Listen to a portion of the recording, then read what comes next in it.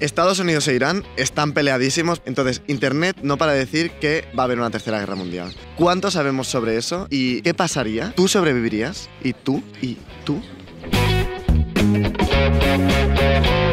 ¿Sabes lo que está pasando entre Irán y Estados Unidos? Eh, están en conflicto. Estados Unidos está llenando de bases militares alrededor de Irán. Estados Unidos ha matado a un general de Irán muy importante. Soleimanio creo que se llamaba. Las tensiones entre Irán y Estados Unidos no son nuevas.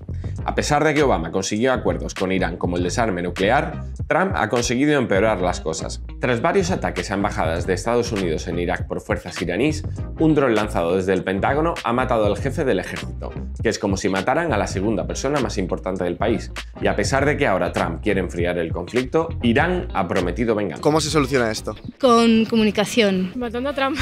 Tienen que intervenir organismos internacionales que paren como con este imperialismo de Estados Unidos. Imagínate que aquí empiezan a sonar sirenas de guerra. Con el alcance que tienen las armas, los primeros que morirían serían los ciudadanos. Estamos demasiado acostumbrados a vivir muy bien. Voy a buscar mis tres cosas que cogería de casa.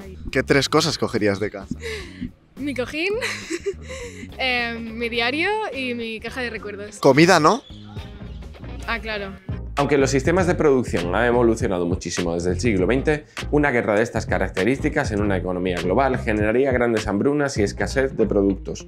Conservas, legumbres o arroz son fundamentales en estos casos, pero no olvides que el acceso a fuentes de agua potable es lo primordial. Buscamos reclutas. ¿Tú te alistas o qué haces? No, no. Yo, al menos como estrategia personal, me alistaría al ejército, que sería de la forma en que podrías estar más cubierto. ¿Sabrías usar un arma? S- creo que sí. Bueno, es que hago tiro con carabina, con mi padre. No sería difícil, ¿no? You can do like a headshot. Oh, oh. Know. No, una persona no. En plan, a ver si es Trump. ¿Trump es una persona? No.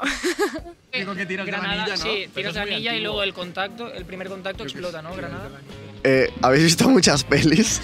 Al formar parte de la OTAN y la ONU, la participación de España en guerra suele ser bajo el amparo de estos organismos y en misiones de cooperación, salvo en algunas ocasiones. Además, el ejército español es profesional, por lo que la participación de la población civil está totalmente descartada. Ya me dirás tú qué haces con un fusil. ¿Cómo sobrevivirías?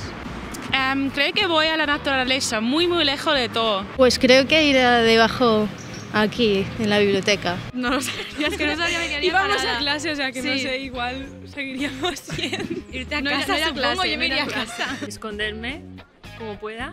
Yo me iría a mi casa, llamaría, no sé, a, a mi madre. Yo que sé, es que no tengo ni idea. Los refugios nucleares se pusieron de moda a mediados del siglo XX por el miedo que generó la Guerra Fría. Sin embargo, casos como la guerra en Siria nos ha demostrado que cuando estalla una guerra ningún sitio es seguro por mucho que los principales objetivos militares sean las bases de los ejércitos o los aeropuertos. Así que si quieres tener alguna opción de sobrevivir, mejor que sea bajo tierra. En definitiva, deberíamos informarnos más y pensar un poco en lo que decimos, porque aunque hay países que llevan años en guerra, vivimos una de las etapas más apacibles de nuestro tiempo. Y además, nadie está preparado para la guerra.